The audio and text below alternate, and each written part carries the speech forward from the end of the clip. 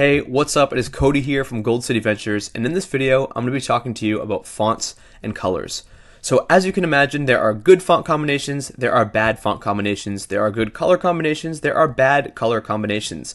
And fortunately for us, there are some awesome tools that can help us figure these out right off the bat. So, the first one I'm going to show you here is called FontJoy. And FontJoy basically has this slider here. You can pick fonts that you want very similar, or you can pick fonts you want highly contrasted. I'm gonna click generate just to show you a couple of different iterations.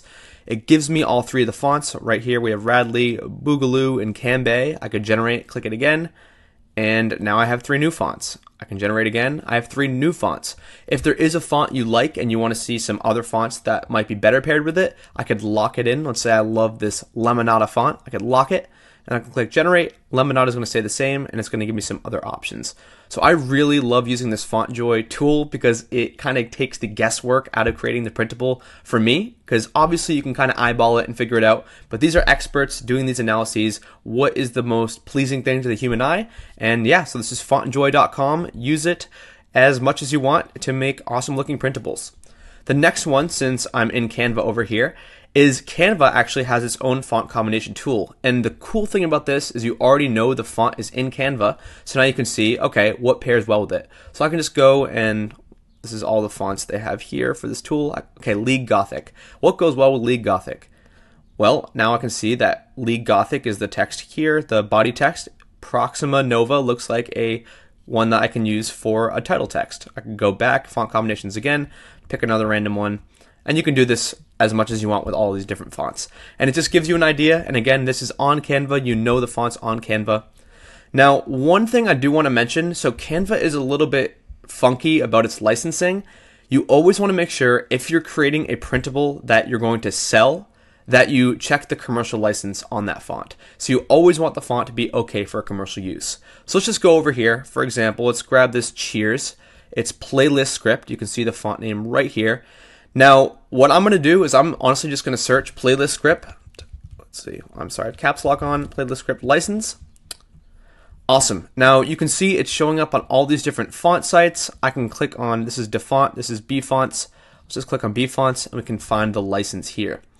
If you're unfamiliar with finding licenses for for uh, certain fonts, you'll probably want to go and check some of these sites out so you can see where it's going to tell you where the license is. On bfonts, it's right below, usually in the description. Okay, license, perfect. Free for commercial use, so this is important.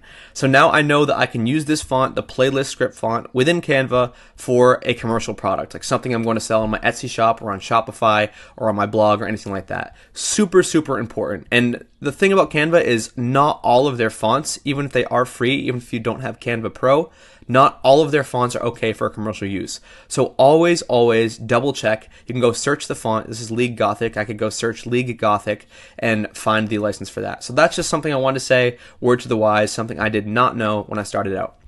Okay, so that is fonts. Now let's move on to colors. So color combinations, again, there's good and there's bad color combinations obviously ones that don't look good are ones you can't read. Like you can't read the word bad in this black background with the blue writing. And obviously the good stands out more. And it's a little more nuanced than that figuring out what good color combinations are. But luckily again we have some online tools that takes all of the guesswork out of that for us. So the first one i'm going to show you is coolors.co i'm going to click on this. Don't worry this will all be linked up. And i'm going to click start the generator. It's free Usually just takes a second to load up and then it will start generating and spitting out all these different colors. Awesome. Okay, so we have the generator here and we have this purple color. I can click the space bar. You can see, press the space bar to generate color schemes and generate a new one, generate a new one, generate a new one. Super easy to use tool and it allows you to figure out what colors are going to work together. Now let's say I love this yellow right here. Again, I can lock it in and I can hit spacebar and it will keep that yellow locked. And now I really like this orange with this yellow. I'm going to lock both of those. Super easy to use, coolors.co. Now, another tool I like to use, this is if I'm dead set on using a specific color. I have this color wheel. So let's just make up a hex code. Actually, I'll just I'll just drag one, click one here. Let's say I love this color blue, this 7EA7FF. This is called the hex code, this six digit or the six character code that designates this blue, this certain hue of blue. Now I can choose all these different harmonies. I have this complementary. You can see I have this orange, and I can click this one, analogous, and I can click this one, triadic. All these different cool combinations if I already have a color in mind. Now, going back to Canva, Canva has an awesome tool itself called Color Palettes.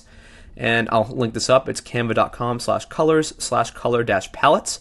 And you can just search through here. You know all of these color palettes are already on Canva and they're ready to use. So you can see other people that have used them, how many favorites they have, and there are hundreds. I think there's even thousands of color palettes. So definitely use this tool as well if you're looking for some colors that might complement each other. And let me move back here. So again, that's color combinations. We went through all of the tools and I think that is everything for today. So thank you guys for watching. Hopefully this video was helpful. Quick recap, make sure your fonts are okay for commercial use if you are going to be selling some kind of printable.